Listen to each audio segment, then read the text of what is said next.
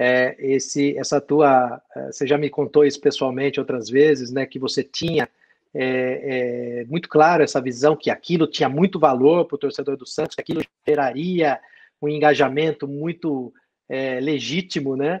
É, e, e, eu vou trazer aqui, acho que muitos de nós aqui assistimos pela Netflix o The Last Dance, que foi é, o registro da última temporada do Chicago Bulls com o Michael Jordan, né?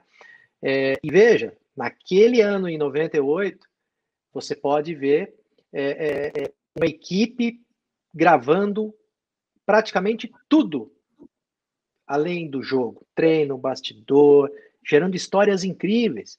Ou seja, é, é, é uma, uma, uma comparação muito muito próxima do que você é, também via para essa época, é, com o detalhe, né? É, hoje o Chicago Bulls ainda ganha muito dinheiro com aquele conteúdo, com as histórias do clube que são registradas. O Bruno deu um ótimo exemplo aqui de uma oportunidade que o Vasco não quis é, se aproveitar, mas ele viu um grande valor e foi lá, fez e, e, e teve uma plataforma de, de streaming é, é, para fazer essa distribuição.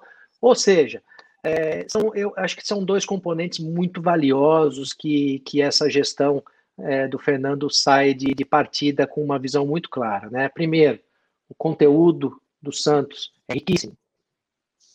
Né? Segundo, é, aproximar o torcedor e perguntar ao torcedor o que você quer, como você quer. Você quer a sua camisa feminina assim, torcedora? Você quer a torcedora com esse outro layout, torcedora? O torcedor, como é que ele quer ser, ser ter a experiência na chegada à Vila Belmiro?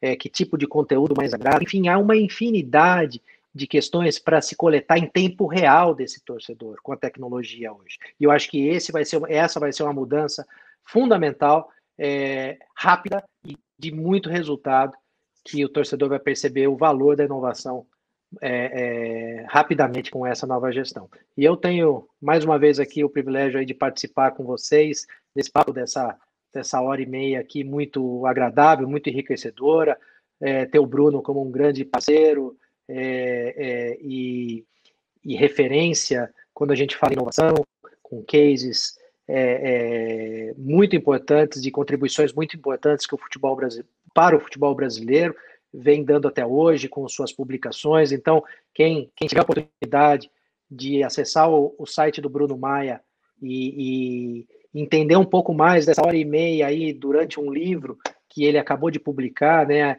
a inovação é o novo marketing, vale a pena, ainda mais agora no Black Friday que está com promoção. Então, fazendo um merchan aqui para o nosso amigo Bruno, é, vale a pena porque é, todos nós fazendo, fazemos parte desse, desse é, século XXI de redes sociais, onde é, a atenção é uma moeda valiosíssima, né? e esses são conceitos é, que essa gestão é, assume de partida e só por isso já gera um diferencial enorme em relação a como o Santos deve se comportar nos, nos, próximos anos, como além de um grande clube do futebol mundial, como uma organização de mídia que faz gol.